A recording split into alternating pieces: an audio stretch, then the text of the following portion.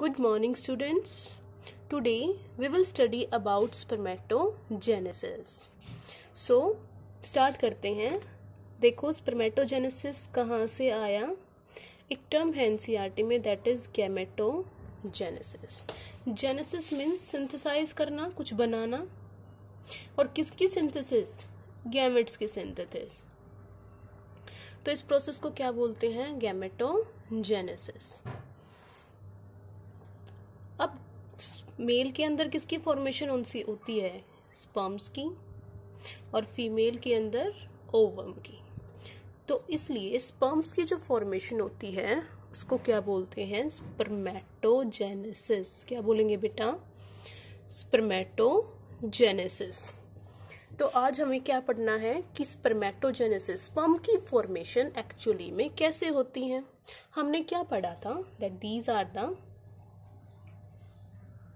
scrotum और in scrotum में क्या प्रेजेंट हैं? टेस्टीज टेस्टीज में क्या प्रेजेंट है?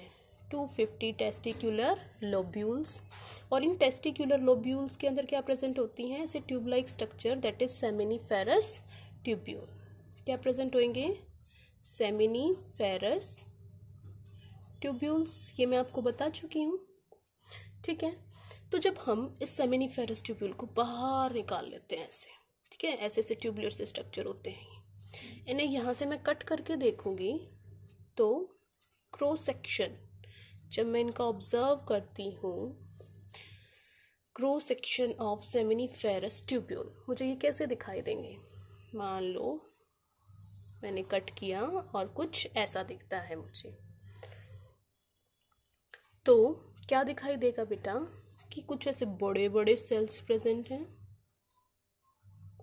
ऐसे कुछ बड़े बड़े सेल्स प्रेजेंट हैं in the seminiferous tubule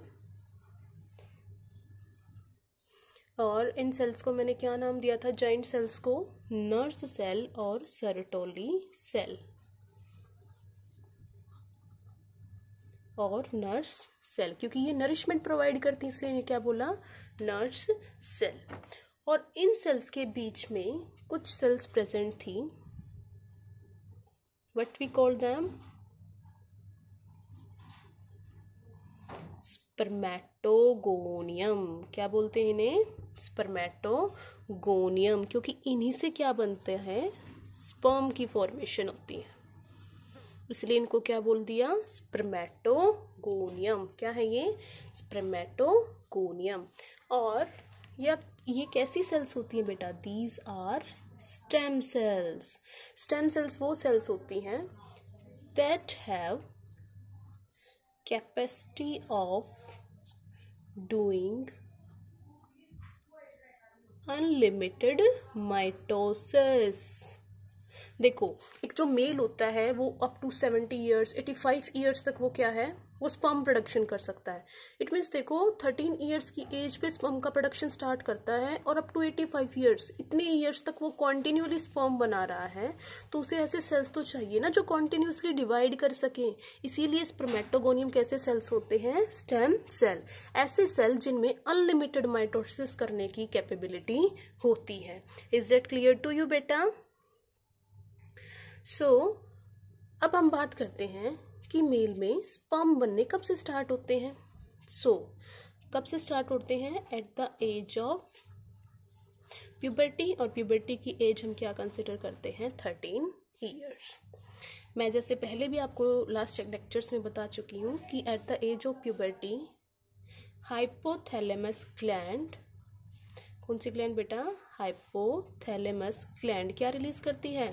gonadotropin releasing hormone और गोनेडोट्रोपिन रिलीजिंग हार्मोन किसको जाके छेड़ते हैं? पिट्यूटरी ग्लैंड को। फिर पिट्यूटरी ग्लैंड क्या करती है? दो हार्मोन रिलीज़ करती है। One is L H that is luteinizing hormone और दूसरा F S H hormone L H hormone किस पे काम करते हैं जाके? टेस्टीज पे। टेस्टीज की कौन सी सेल्स पे? लीडिंग सेल्स पे। लीडिंग सेल्स कहाँ पे प्रेजेंट थी? ये सेमिनीफेरस ट्यूब्यूल के बाहर टेस्टिकुलर लोब्यूल्स में प्रेजेंट थी। कौन सी सेल बेटा? लीडिंग सेल या जिसे हमने बोला था इंटरसीशियल सेल और ये लीडिंग सेल्स फिर क्या प्रेजेंट प्रोड्यूस करती हैं? एक हार्मोन प्रोड्यूस करती हैं। That will testosterone hormone in male एक जादुई हार्मोन है। इस हार्मोन के रिलीज़ होने की वजह से मेल में सेकेंडरी सेक्सुअल कैरेक्टर आते हैं। स्पर्म की फॉर्मेशन स्टार्ट होती है। एक मेल में जो मेल वाले कैरेक्टर होने चाहिए, वो सब किसकी वजह से है? टेस्टोस्टेरोन हार्मोन की वजह से। किसकी वजह से है? टेस्टोस्टेरोन हार्मोन की वजह से।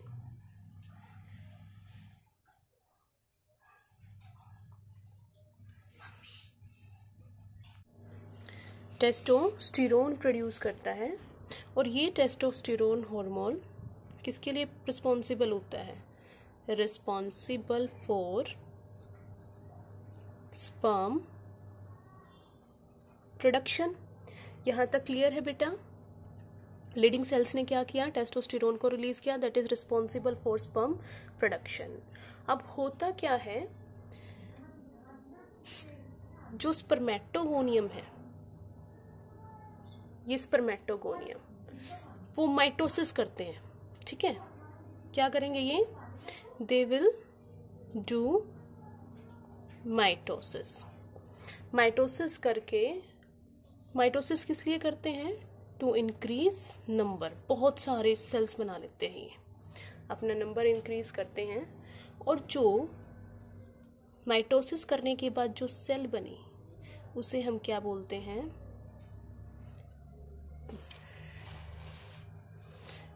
प्राइमरी स्पर्मेटोसाइट ठीक है?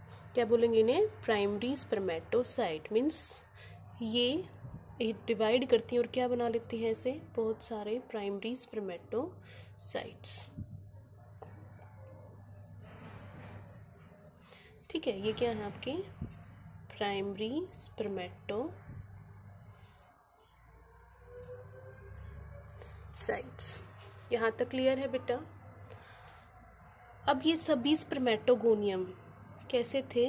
डिप्लॉयड हर एक सेल कैसी होती है? डिप्लॉयड होती है। और आपके माइटोसिस के बाद कोई प्लॉयडी चेंज नहीं होती तो प्राइमरी स्पर्मेटोसाइट भी कैसा है? Diploid then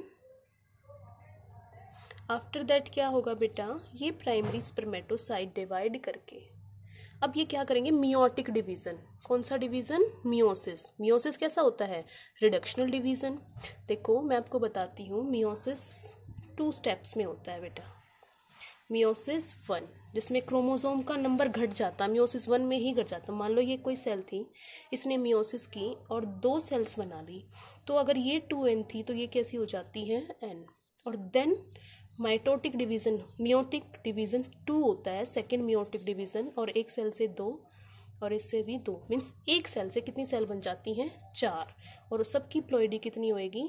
N N N ये होता है मियोसिस ठीक है, जिसको रिडक्शनल डिवीज़न बोलते हैं, जिसमें क्रोमोसोम का नंबर क्या हो जाता है? घट जाता है। मियोसिस में एक से चार सेल बनती है और माइटोसिस में एक से दो सेल बनती हैं। तो अब ये जो प्राइमरी स्पर्मेटोसाइट थे, इनमें क्या हुआ? मियोसिस वन हुआ। क्या हुआ बेटा? मियोसिस वन हुआ और इस मियोसिस वन के होने से अब दो सेल बन जाएँगी। कितनी सेल बनेगी? दो। ठीक है? और इनमें फिर क्या होता है? मियोसिस टू होता है और कितनी सेल बन जाएँगी? ये डिवाइड करेंगी दो। यहाँ से ये कितने सेल बन जाएँगे? चार। ये क्लियर है आप लोगों को? मान लो, ये क्या था आपका प्राइमरी स्पर्मेटोसाइट ठीक है? ये primary spermatocyte meiotic one division करता है और क्या बन जाएँगी ये वाली सेल आपकी? सेकेंडरी स्पर्मेटो साइट्स ठीक है? और मियोसिस टू होने के बाद जो सेल बनती है, उन्हें क्या बोलते हैं? स्पर्मेटिड्स सेकेंड प्राइमरी स्पर्मेटोसाइट कैसा था? टू एन सेकेंडरी स्पर्मेटोसाइट कैसे हो गए? एन और स्पर्मेटेड भी सारे कैसे हैं ये? एन ये भी एन है, ये भी एन है, ये भी एन है. Means these all are haploid कैसे बन गए ये? हैप्लॉइड अब मैं यहाँ पे इसको डायग्राम में रिप्रेजेंट करती हूँ। तो ये सेल है। ये क्या थे हमारे? प्राइमरी स्पर्मेटोसाइट ये फर्दर मियोटिक वन डिवीज़न करते हैं और क्या बना लेते हैं? सेकेंडरी स्पर्मेटोसाइट लेबल कर दूँ मैं इसको? ये क्या बन जाएगा बेटा? सेकेंडरी स्पर्मेटोसाइट और ये फर्दर डिवाइड करते हैं, ऐसे, और क्या बना लेते हैं? स्पर्मेटिड्स क्या बनाते हैं? स्पर्मेटिड्स तो अब ये कुछ स्पम के जैसे लग रहा है हमें। नहीं, ये तो नॉर्मल सेल लग रही हैं। बिल्कुल स्पम के जैसे नहीं लग रहा। तो ये जो आपकी सेल्स थी they will take the shape of sperm इस तरीके का स्ट्रक्चर बना लेते हैं दैट इज़ मोटाइल ठीक है, इनको क्या बोलते हैं? स्पर्मेटो जोवा और ये जो प्रोसेस है जिसमें स्पर्मेटिड से स्पर्मेटोजोआ बन जाता है। Change of spermatid into spermatozoa this process is called spermiogenesis क्या बोलते हैं इसे?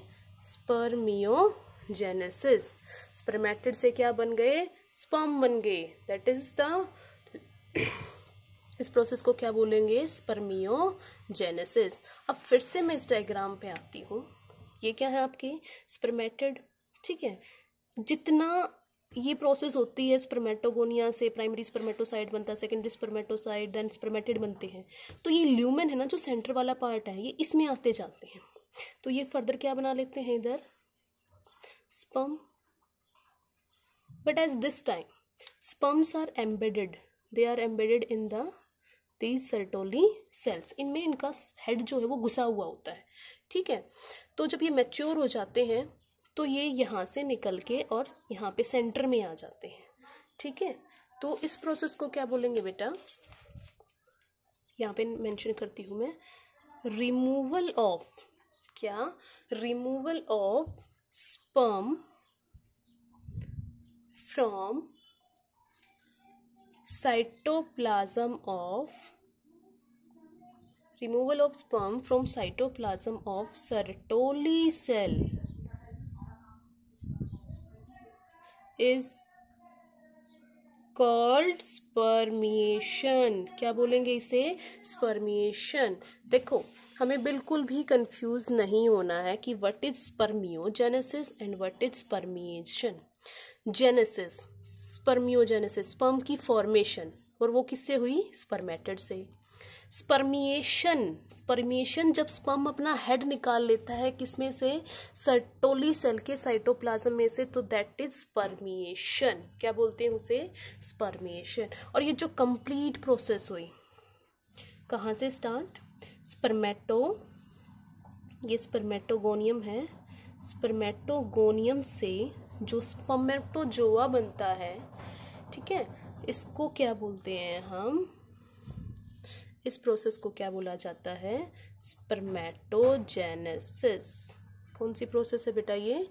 Spermatogenesis is that clear to you यहाँ तक हुआ बेटा सब बच्चों को क्लियर तो हमने क्या देखा कि भाई जो आपकी स्प्रेमेटोगोनियम थे डिप्लॉयड सेल उनमें माइटोसिस वन हुआ नंबर को इंक्रीज करने के लिए। इसी मल्टीप्लिकेशन फ़ेज़ भी बोलते हैं।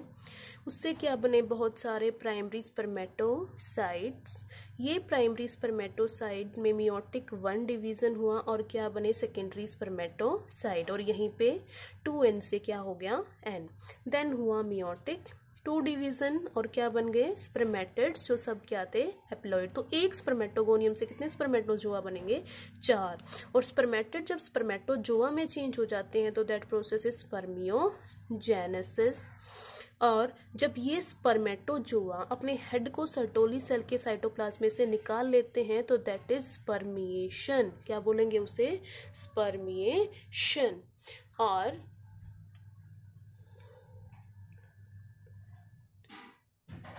और एक स्पम को बनने में, ये स्पर्मेटोजोआ को बनने में जो टाइम लगता है that is sixty five to seventy days और मैं इसको क्या बोल सकती हूँ?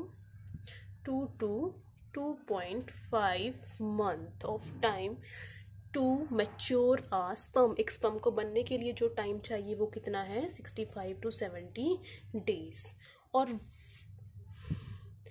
two two hundred two hundred to three hundred millions sperm ejaculate होते हैं। स्पर्म्स इजैक्यूलेट पर इजैक्यूलेशन।